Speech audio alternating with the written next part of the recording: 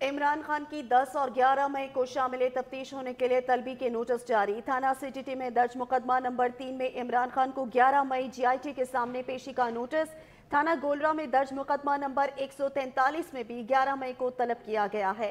थाना रमरा में दर्ज मुकदमा नंबर एक में इमरान खान को 10 मई दिन दो बजे तलबी का नोटिस भेजा गया है। आपको बता रहे हैं, इमरान खान की 10 और 11 मई को शामिल तफ्तीश होने के लिए तलबी के नोटिस जारी। थाना सीटीडी में दर्ज मुकदमा नंबर तीन में इमरान खान को 11 मई जेआईटी के सामने पेशी का नोटिस दिया गया है। थाना गोलड़ा में दर्ज मुकदमा नंबर एक में भी 11 मई को तलब किया गया है। थाना रमना में दर्ज मुकदमा नंबर एक सौ चौवन में इमरान खान को 10 मई दिन दो बजे तलबी का नोटिस जारी किया गया है। इमरान खान को पुलिस लाइन हेडक्वार्टर में जेआईटी के सामने पेश होने का नोटिस जारी किया गया है।